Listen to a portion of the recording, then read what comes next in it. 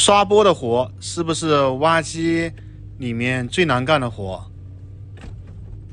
反正我是很少刷波。这个工地要求很严格。之前的小挖机来刷波，施工员说他刷的波太垂直了，而且有的地方还往里面挖了。他说我刷的这个波马马虎虎，还看得过去。我也不知道这个波是多少度的，反正接近垂直状态。如果满分十分，你能给我打多少分呢？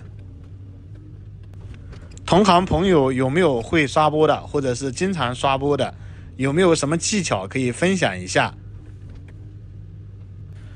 反正我的想法就是，你不能一次性把土给它挖到位，要预留一点土，然后慢慢的修，慢慢的刷，这样才能把波给刷好。也不知道我的想法对不对。